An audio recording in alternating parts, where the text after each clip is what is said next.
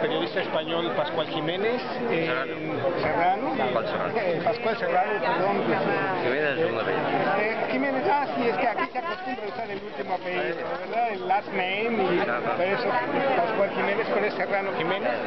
Eh, a quien le voy a hacer una pregunta relacionada, no con su ponencia en este momento en el foro del Encuentro del Saber, sino su percepción como periodista español, como director de un medio alternativo, sobre las elecciones en México, sobre el panorama político que está ahorita viviendo el país.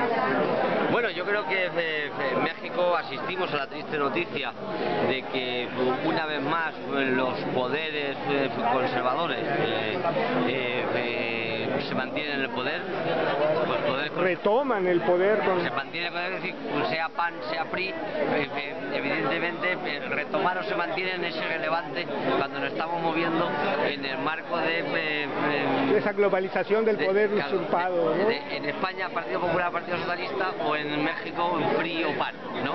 Es decir, continúa la derecha en el poder, ¿no? Eh, con unas siglas diferentes, pero evidentemente continúa. Eh, creo que el, eh, la izquierda moderada que suponía el PRD no ha logrado el poder, eh, primero porque mm, todos sabemos el férreo control que se tenía sobre los medios de comunicación, sobre la televisión especial, que todos conocemos lo fundamental que es la televisión para eh, marcar pautas en los resultados electorales, Eh, pero también en mi opinión porque la izquierda no ha sido suficientemente firme y radical en sus propuestas. ¿no? Eh, la izquierda del PRD se ha caracterizado históricamente por ser excesivamente pudorosa, excesivamente miedosa y una vez más eh, yo creo que la izquierda, los partidos políticos de la izquierda deben de darse cuenta de que la moderación, el miedo y la falta de valentía para afrontar los verdaderos cambios estructurales no solamente eh, eh, no eh, dan resultado electoral, sino que además lo único que hacen es facilitar el cambio de la derecha. ¿no? La izquierda debe de aprender a que debe de ser valiente, de que la, la- las propuestas de los partidos políticos de izquierda tienen que ser audaces y sin miedo al cambio, porque la gente lo que quiere es o un verdadero cambio o no quiere copias. Para hacer copias de la derecha, la gente terminará votando a la derecha. Cuando existen eh, propuestas progresistas que no actúan y no se dirigen a la, a la- a la raíz de, de los eh, al final, evidentemente, no consiguen el, el beneplácito de los, de, los ciudadanos. ¿no? Si uno ve en el espectro de América Latina, los únicos gobiernos de izquierda que han logrado repetir, y mantenerse en el, en el gobierno y en el poder son los que se han mantenido valientes y audaces en el mantenimiento de sus propuestas políticas radicales de izquierda.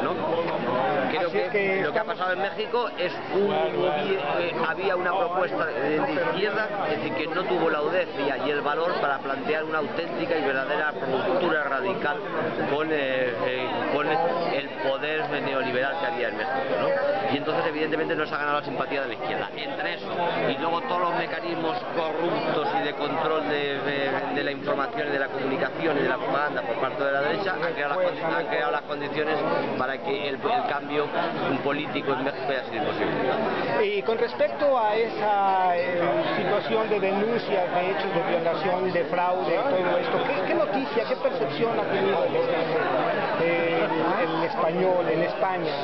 situación? Pues desgraciadamente los seguimientos de los resultados ele- electorales en cuanto a evaluación de fraude son excesivamente complejos para que se puedan valorar desde el extranjero en condiciones de, rigor informativo, ¿no?